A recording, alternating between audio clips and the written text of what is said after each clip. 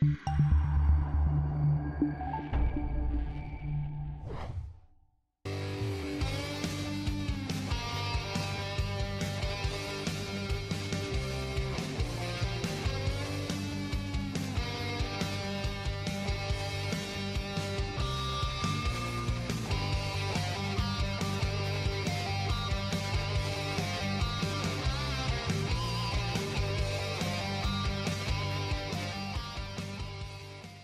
Hello, and my name is Lowell Vanderpool, and this channel is dedicated to IT professionals, IT students, and anyone who's interested in technical subjects. Today, we are working more and more online, whether we're dealing with a desktop computer, a laptop, or a mobile device. One issue that is growing concern and is a concern of individuals, companies, and governments is privacy and identity and where data, personal data, is stored. This is something that we want to take a hard look at and see what things you can do to manage that, control that, both on folks that need extreme control of this to folks that need maybe a mild version of enhancing their privacy and identity information. Let's take a quick look at our discussion on online privacy. On part one, the video, first video, we're going to look at legislative effort to curb privacy abuse by companies and what are the vectors of privacy leakage when working online. We'll look at operating systems, browsers, and applications, and who needs what level of privacy protection. For some people, it's going to be more. For some, it's going to be less. We're going to look at the LTSC version of Windows 10 and why it can be an option to help improve both privacy and security. We're going to look at third party tools to help reduce privacy leakage on any version of Windows 10. We're going to look at DNS vendors and VPNs part two, we're going to look at the second part of our video will be focused on data and privacy leakage at the browser. Remember, the browser is the most used application in computing today. Comparing the new Edge Chromium browser to Chrome and to Firefox. And this will be primarily in the Windows world. Browser extensions that add limited privacy enhancements, application firewalls for Windows and Android, and for the extreme individual who's looking for maximum privacy and identity uh, protection, I'll give you some good ideas for that one. Although I am starting off with PowerPoints, we'll quickly get to hands-on, and this will be a technical discussion as we get further down the road. Legislative efforts to curb privacy abuse by companies. A number of legislative actions have happened recently. One, the California Consumer Privacy Act, and companies are beginning to respond to this new legislation. And of course, the European Union's GDPR has impacted almost every international company. These key legislation and compliant regulations focus on privacy of the individual's data. So governments are very concerned about this issue. There's actually an a request for comments on RFC 6973 that was produced by the IETF that is focused entirely on privacy considerations for the inter internet protocols. It talks about massive monitoring on a, as a widespread attack on privacy, surveillance, privacy threats. It's a well worth read if you want to look up RFC 6973. Some individuals need greater control over their privacy than others. Some need an extreme amount of control. Some need just basic. Maybe they need to make some changes on how they work online. Step up control over their privacy and who has access to their data. Let's take a look at the vectors of privacy leakage when working online. Three vectors of privacy data leakage are very simply operating systems, and that could be mobile phones as well as operating systems you run on your laptops or PCs. Browsers are a big concern, and especially on the mobile side, applications can be extreme form of data and privacy leakage on your mobile phones. So who needs what type of level of privacy protection? Well, everybody is different. Your personal need for privacy will vary based on the individual. If you're an individual hiding from domestic abuse, you may need extreme protection in privacy and identity information while working online. If you're an aggressive person that wants to take a more proactive step on your operating system, your browser, and applications, you can definitely do that. You may do something mild, something that's just moved from Google to DuckDuckGo or something of, of simple nature as that. And then, of course, there's the clueless. I thought State Farm didn't have all those apps. Where'd you hear that? The internet. And you believed it? Yeah. They can't put anything on the internet that isn't true. Where'd you hear that? The, The internet. internet. Oh, look, here comes my date. I met him on the internet. He's a French model. Uh, bonjour. I doubt very seriously that my lectures will help that young lady. Back to operating systems. Windows 10 has improved many issues relating to privacy leakage. Many feel that they haven't done enough. Linux is a superior platform when it comes to privacy. There is very little known privacy or data leakage on the Linux platforms. Mac OS and iOS are tightly controlled by Apple, who appears to be more responsible with personal data, although not perfect. Android for the mobile side has improved due to public pressure on Google to do so. Let's take a look at LTSC version of Windows 10 and why it has the potential of improving privacy and security. As I mentioned before, Microsoft has improved privacy on its platform, but many critics feel like they haven't done enough. Let's take a look at a version of Windows 10 that lays a foundation to provide a better platform for security and reliability and improved privacy.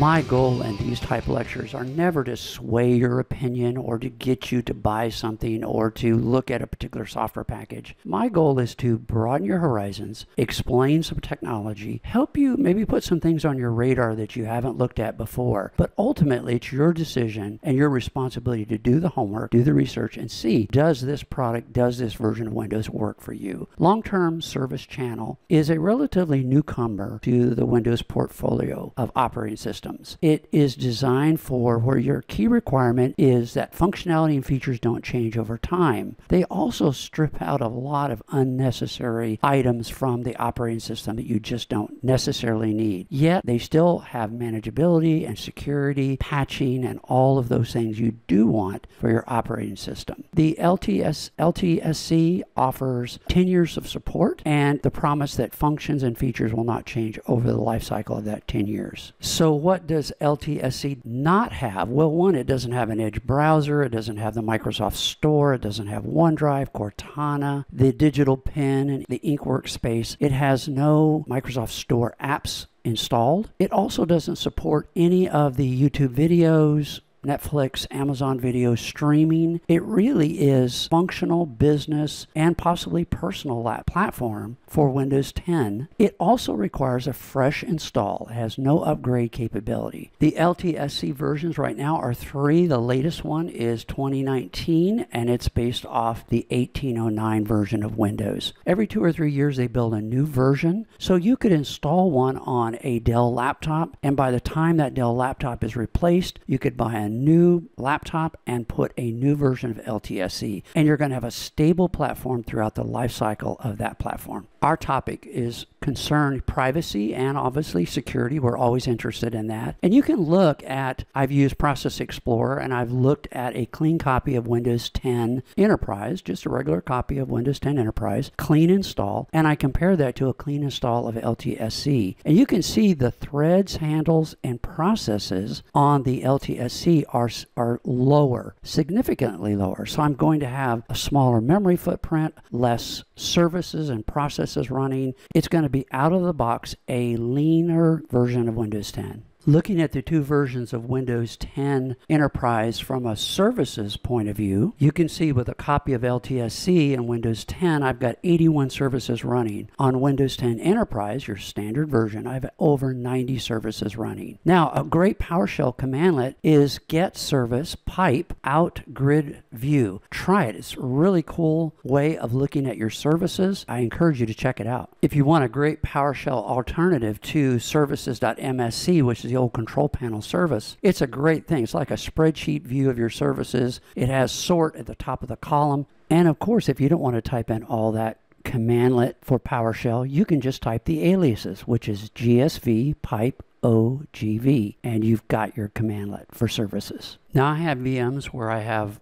Windows 10 Enterprise installed, just your typical Windows 10 Enterprise. And I also have the LTSC Enterprise version. If we go to the Enterprise version, and I just go to Start, you can see the store items are listed here. And if I go to All Settings and go to the Apps you can see there's a lot of applications that are installed, and this is typical of Windows. Now, if I go to LTSC and I go to the Start menu, it's really ugly. It's lean and there's not much here. If I go to all settings and I go to apps, you notice there's no apps here at all. So you can begin to see right away there is a cleaner version of Windows 10 on the LTSC side. Now, Windows 10 Enterprise or Business do provide under settings. I'm going to go under the settings area and you can come under privacy. And there is a number of areas general, speech, inking and typing, personalization, diagnostics, feedback, activity, and location. All of these are elements that for someone who just wants some mild improvements of privacy, you can go in there and adjust those. Those are good places to start. But in most cases, they're not going to give you anywhere near the kind of privacy you probably need. So let's take a look at third party tools. And first of all, let's look at what third party tool do we want to look at? How do we use a criteria in choosing third party tools? Because they're going to go more under the hood and do a better job of tweaking Microsoft Windows 10 to where it really gives us a greater level of privacy and security. So let's look at third party tools to reduce privacy leakage on any version of Windows 10, including LTSC.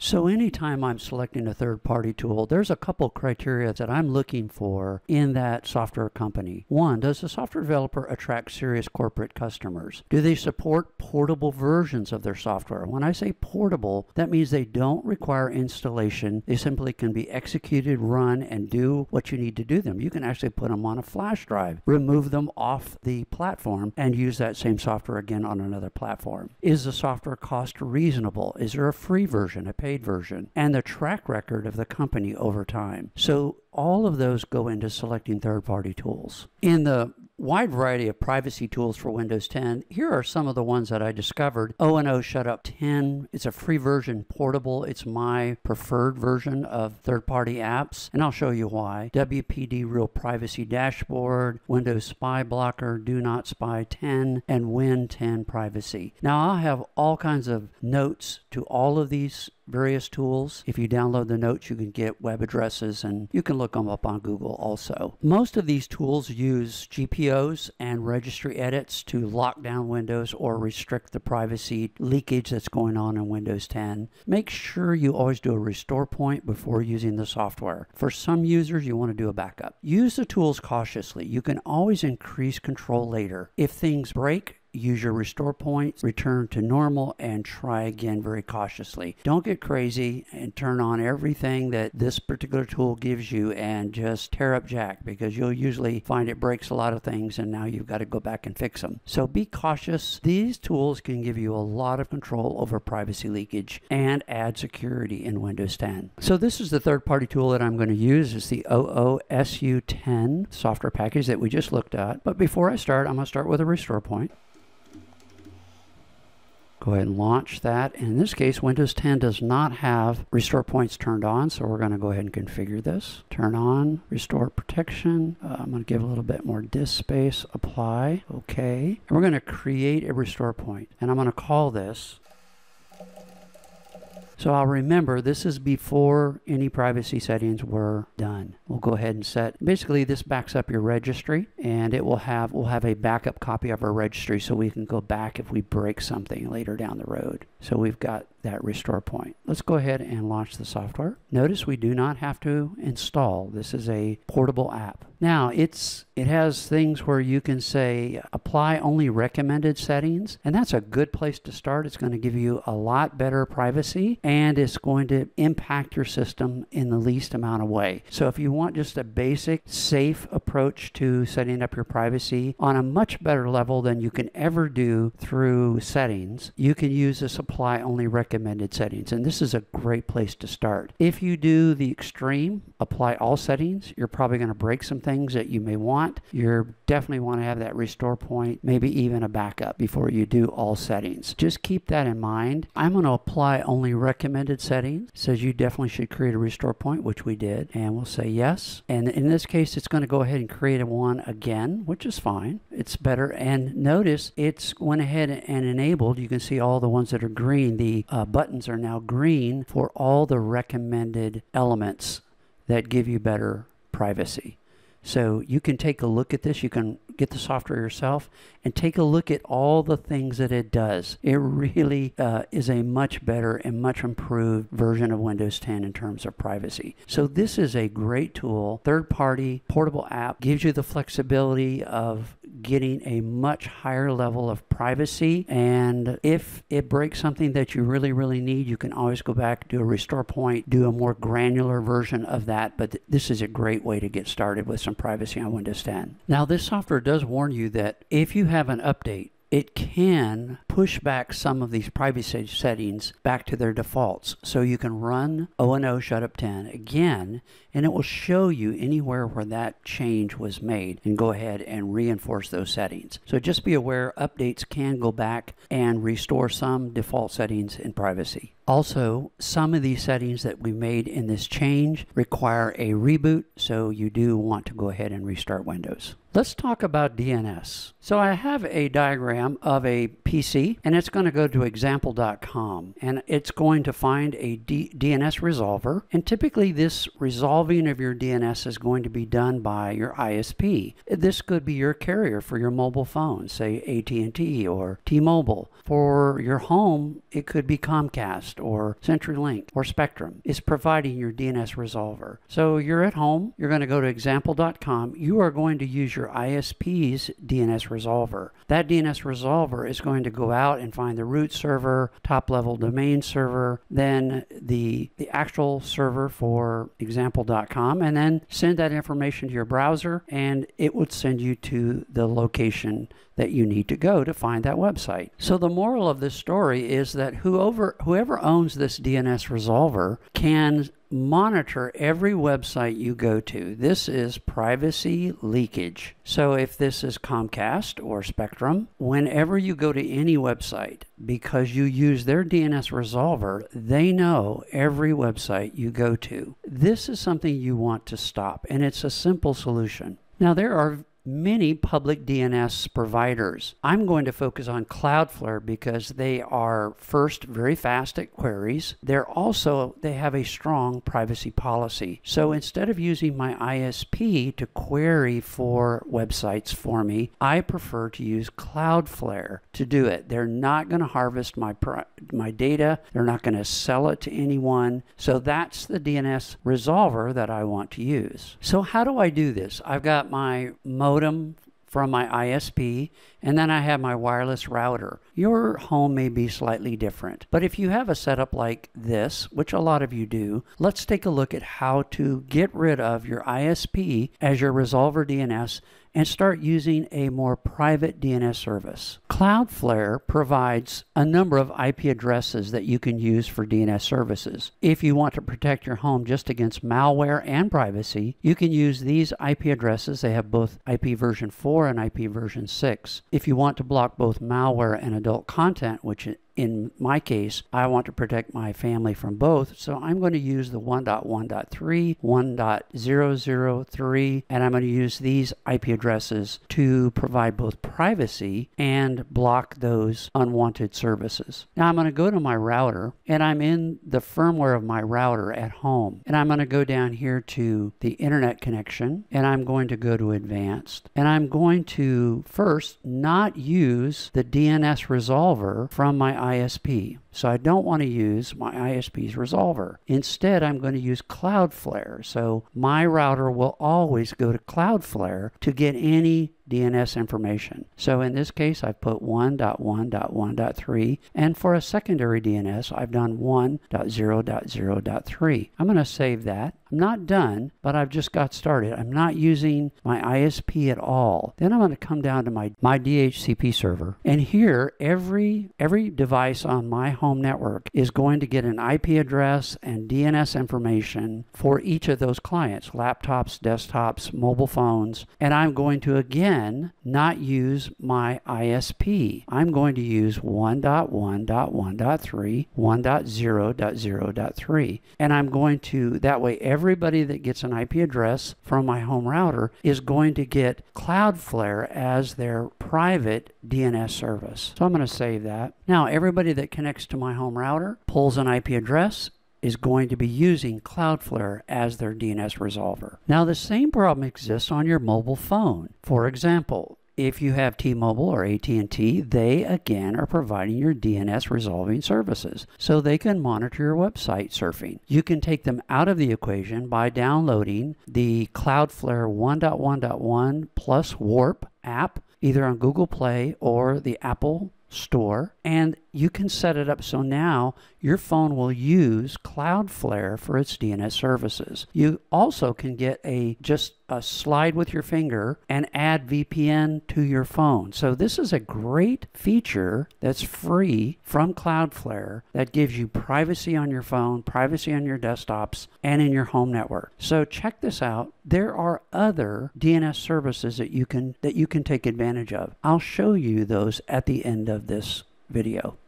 In wrapping up video one on privacy, you can see I could spend literally 10, 15 videos on privacy alone. PrivacyTools.io is a great website for additional information on a variety of privacy tools, more DNS services that are primarily focused on privacy, VPN services that provide a great deal of privacy, email, web browsers, operating systems, privacy tools. So this is a great website for you that need some of you that need much more privacy than than say the average individual. Probably every single person needs to step up their privacy data leakage and curtail that to a great degree. There's no reason that companies have as much information about us as they do. And it's primarily because we're not taking these steps. In our upcoming second video, we're going to be looking at data and privacy leakage at the browser. This is a huge problem. We're going to look at the new Edge Chromium browser, Chrome, and Firefox. We're going to look at under the hood. I'm going to use a lot of system internal tools to look at these browsers and compare them. We're going to look at browser extensions that add limited privacy enhancements and application firewalls that are very interesting for Windows and in the Android environment. And then point you in the direction for you that are interested in some extreme privacy and identity protection.